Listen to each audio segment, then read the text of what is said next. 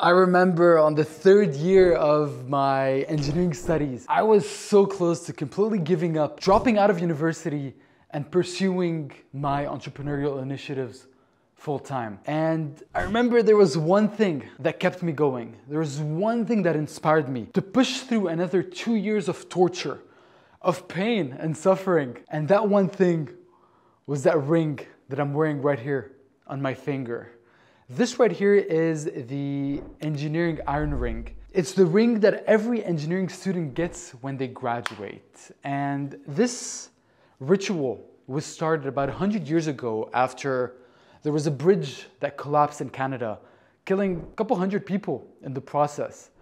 And after a long investigation over what is it that happened during for that catastrophe to take place, they realized that it was a flawed engineering design it was the engineers behind the design of that bridge that led to the bridge collapsing. And since then, they created the iron ring, shaped like the iron that made up that bridge to remind engineers of the responsibility that we have towards safeguarding society. The ring is worn specifically on the pinky for it to hit all the material and equipment handled by the engineer. And it was that ring, the meaning, the symbol that was behind that that kept me going towards for another two years of my degree. I never worked as an engineer, but what I do proudly wear today is still the ring that I got from my degree.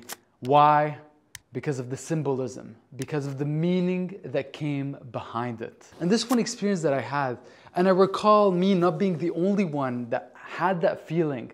A lot of us that graduated only went to the iron ring ceremony where we got the ring and not even went to the actual uh, graduation. I didn't even go to my graduation. I just went to get my iron ring. And this taught me the power of embedding symbolism behind the different brands and behind the different products that we build as builders. And for us builders today, one easy low-hanging fruit that we have, the capacity to tap in, a super weapon that no one else is using, is to find a way to embed so much meaning behind our products and our services or our NFTs that make our potential prospects willing to go the extra mile, willing to pay the premium, willing to do the things that other people wouldn't be able to do because they want access to what your product means.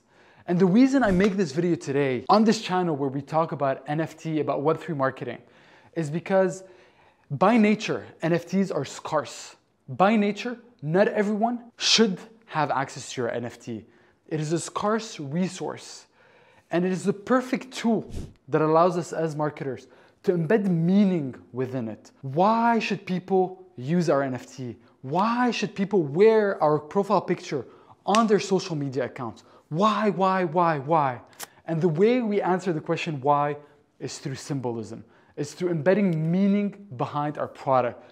It's by embedding meaning behind our digital tokens. When you think about it, every notable established NFT collection or NFT brand holds some form of meaning. Bored Ape Yacht Club, for example, was seen by most as the status profile picture. If you owned a Bored Ape Yacht Club, you instantly had status. DeGods, for example, if you own a DeGod, it signals that you're into culture, you're into pop, you're cool, pretty much. There's even collections like Milady that the art is designed in a way to show that you're rebellious. You don't care of what other people think, and it communicates a certain facet of your character, of who you are as a person. The reason why people will wear your profile picture collection is because of the meaning that comes behind it. Because it complements what is it something people want to signal about who they are and what is it that they stand for. So what I'm going to be sharing with you right now is a three-step framework that you can use to embed your NFTs with meaning. And if this is the first time we meet, I'm Leon Abboud and I produce these videos today to democratize access to knowledge that you need to successfully launch your NFT project. For most of history, the secrets of successfully launching a product were safeguarded between the hands of a small group of people, the market makers, we call them, who often ended up launching brands that would benefit their own pockets and not the rest of Web3. So based on my decade of marketing experience and my years having helped some of the largest brands in Web3 launch and scale their NFT projects, I bring that knowledge to you today all for free. There is no paywall gated information or secret that you need to pay for to access. It is all here for you today. So if you are an NFT founder looking to embed meaning within your NFT, here's a three-step process that you can use. The first one being to define what are the core values that make up your project. And a good way to start is what are your core values that make you up as an NFT founder. At the end of the day, the brand is nothing but a reflection of the founder that created that brand. What are the things that you stand for? What are the things you believe in? Why are you doing what is it that you're doing? The next step is to ask yourself, are there people out there that also share the same core values and core beliefs as you? For example, I believe that every founder should have all the tools, resources, and knowledge that they need to successfully launch a product ethically and profitably. Because at the end of the day, a market is only as good as the products that make up that market. And it is you, the builders, that will end up creating the products of tomorrow. So that is how I aim to make my mark into Web3. And that is why I make these videos.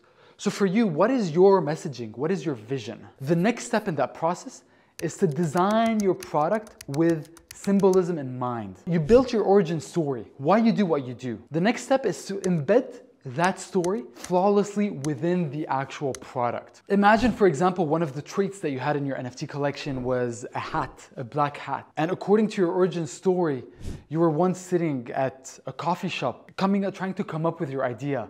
And you had this old man that came up, sat in front of you, opened up his heart about his story and how he went and overcame all the obstacles that life put in front of him. And that story that inspired you that day to get up and take action and actually put in movement your product. And then because of that, you have a black hat within your collection. All of a sudden, you get to embed your collection with a story. You get to give meaning beyond what is it that people see. So that was the second step, design with meaning. The third step in that process is to communicate with meaning. Every part of your marketing, your website, your copywriting, your marketing material, everything should go back to communicating and educating your prospect about your vision, about your mission, and about the symbolisms that make up what your brand is and why it was designed that way. So these are the three steps, ladies and gentlemen. Number one, define your core values. Number two, design with intention. Number three, communicate and educate. I hope this was helpful for you. Get out there, embed meaning behind what is it that you are selling. And trust me, people are gonna be willing to walk the extra mile to become part of your journey and to join you on your mission. My name is Leon Abboud, and it was an absolute pleasure sharing this moment with you. I shall see you very soon. Cheers.